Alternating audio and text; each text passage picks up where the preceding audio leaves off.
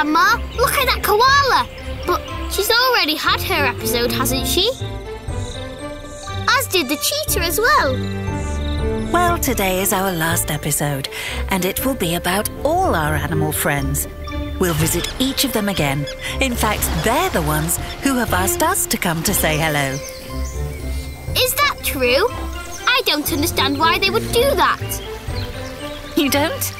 Don't you remember that at the end of each episode, you would finish by saying goodbye and don't forget our friends? Oh, right, I remember now. Well, you see, they're just like us. They want us to remember them and protect them when we can. They want to live in harmony with us. I want that too. Today, we will remind everyone of what we've learned in all the previous episodes about the different lives of our animal friends. Wow, it's going to be awesome, Grandma. I'm so excited. OK, let's see which animals you can still recognise.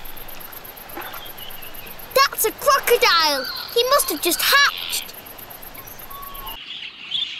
And those are budgies. They live in Australia. And look, there's a baby turtle. She's in a hurry to get down to the sea. And just watch the sea lions. I'm so jealous that they get to swim in the sea every day. So, let's go down and visit with our underwater friends. Wow! Clownfish, I like them the most. Oh, and here, a seahorse. I like him a lot as well. And the pelicans. Well, I guess I love all animals. That's good. That's how it's supposed to be.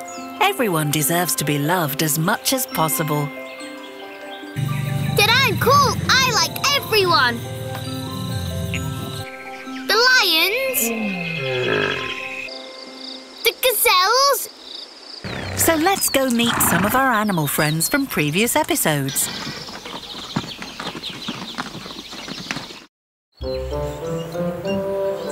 Greetings, Mrs. Koala. Oh, actually, two koalas. Koalas carry their babies on their backs and eat eucalyptus leaves every day, and they eat a lot of them. That's right. This is why they live mainly in eucalyptus trees. It's also a safe place that's out of reach from dangers, like stray dogs. Oh, look at that cheetah! He's the fastest one of all. Yes, true, but only over short distances. If he has to go far, he gets overheated. These giraffes hardly ever respond back with a hello. Maybe they don't hear us all the way up there. and kangaroos are the best jumpers. They carry their babies in a pouch on their belly. They graze on grass clearings and sometimes they kick each other when they're fighting for social status within their group, called a mob. Well, only they know how it really is. And who is this? Can you recognise him? Uh, yes! That's a little tern. He thinks the neighbour is sitting on that egg to prevent someone from stealing it. That's right. He's still afraid of many things, like crocodiles and other birds. Well, I'm afraid of crocodiles too. And these are bears from America. They hunt for salmon in rivers, but they have to watch out for wolves. That's right, because wolves can be sly. And when they travel in a pack, they can sometimes outsmart a bear and steal his food.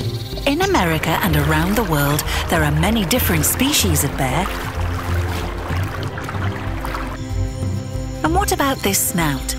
What animal can stick its nose inside anthills and termite mounds?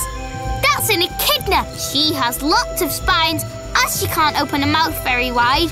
She eats by using her tongue.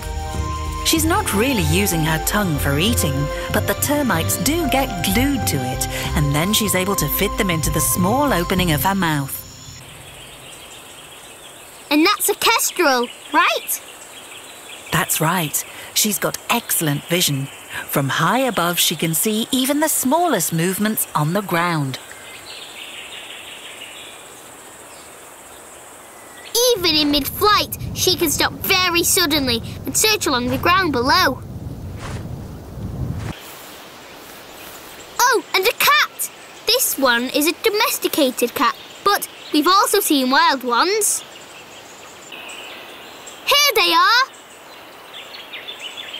Even when they live with people, cats still live freely. They usually do whatever they want to do.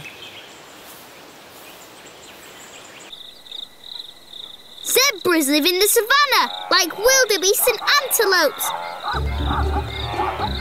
And do you know why they have stripes? Of course, to make them look pretty.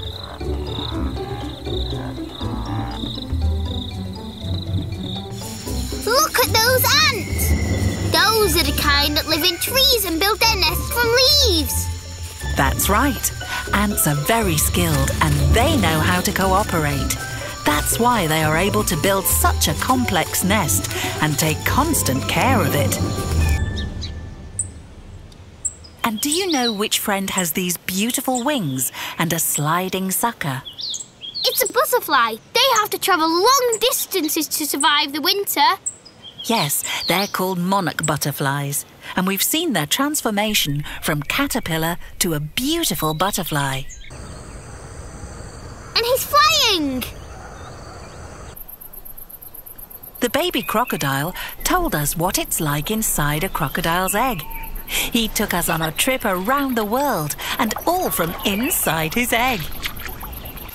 He told us that he's not afraid of anyone, but that everyone should be afraid of him. Uh, that is when he grows up. But there was someone else who told us about what it was like inside an egg. Do you remember? Yes! Yes, it was a little budgie! Like the crocodile, she told us about everything she learned before she hatched. She was dreaming about the world outside and about budgies. Look how beautiful and colourful they are, especially when they fly in huge flocks. And notice how much they like each other.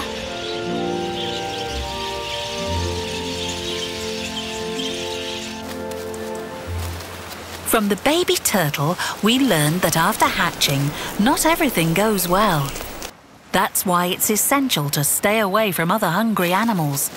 Not everyone is friendly. She was so small and brave. But when all the obstacles are overcome, the waves of the sea welcome the turtle with a friendly embrace.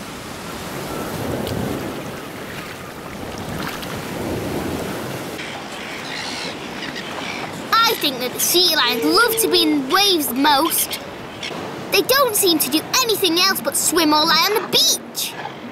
But even they have things of which they have to be very careful. Their life requires more than just basking near the seashore. They must hunt fish, right? Yes, but not only that, they also have to protect their family and territory.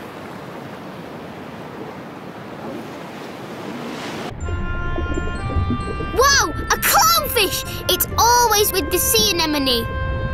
That's because the sea anemone protects the clownfish against predators in exchange for all the good care the clownfish give the sea anemone.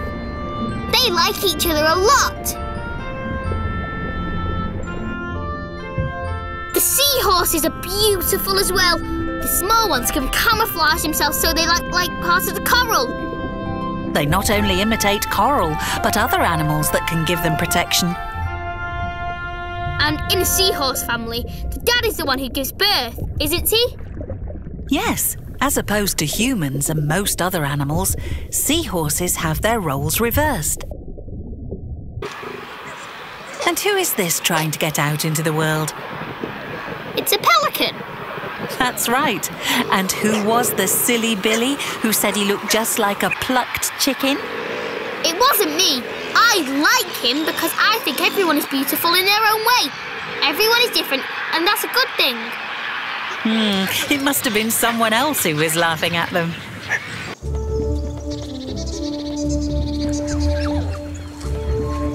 And did you like the story about the little dingo?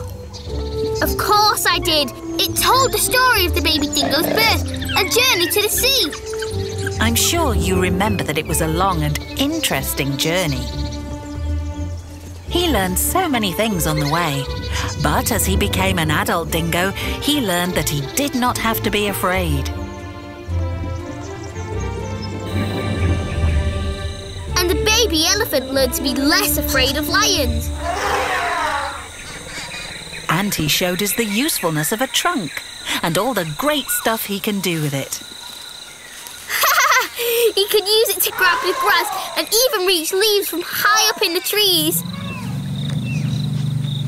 And within the elephant herd, the boss is the strongest female.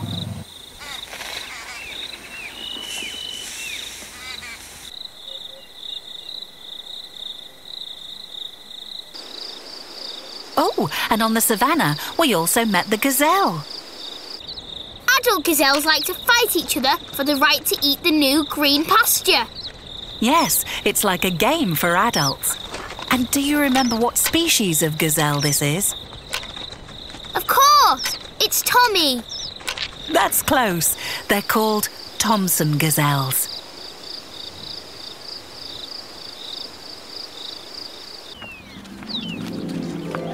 And these are Brumbies. They're the wild horses of Australia. Brumbies most of all like the freedom to run wild. And he is the last animal we'll see today. We'll let him run anywhere he wants, and maybe one day he will come back to tell us about his new animal friends. The ones he met on his journey across the land. So, goodbye. We'll never forget any of our animal friends.